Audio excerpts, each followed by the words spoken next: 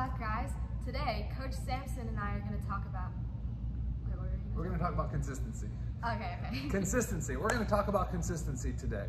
So, what do our viewers need to know about consistency? How can they be the most consistent player at their table tennis club? Yeah. Um, for me, I think consistency branches off into like three main things. Um, the first one is more spin. The second one is more adjustable.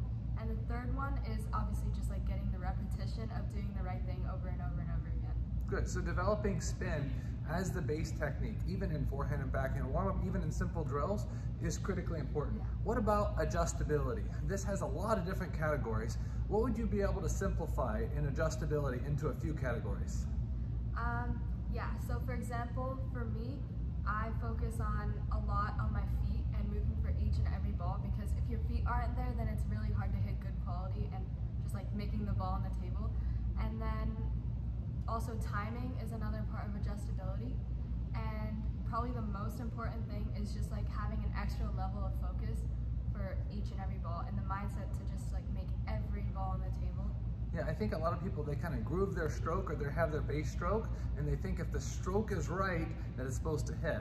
Where really, unless they're able to measure and actually see where the ball is bouncing and see the type of spin and degree of spin and height and depth, all that, uh, the best stroke in the world's not going to help. So having an adjustable They're good stroke, for pictures though. They're good for pictures, yeah, but we're, we're here for the win, right? yeah. Okay, so we've got generating more spin, more adjustability, and then what was the third one? Um, just getting the repetition and doing the right thing over and over and over again. Yeah, because that will help build confidence.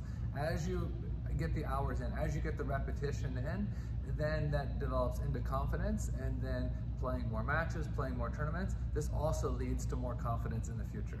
So I really feel like developing strong shots is important, but at the end of the day, the most consistent player is gonna win the match. Yep. All right, any uh, any shout out to any of your sponsors today? Yeah, shout out to Nittaku and Paddle Palace. Thank you for all of your support. You guys are great sponsors. Thanks, and we'll see you soon. Bye-bye.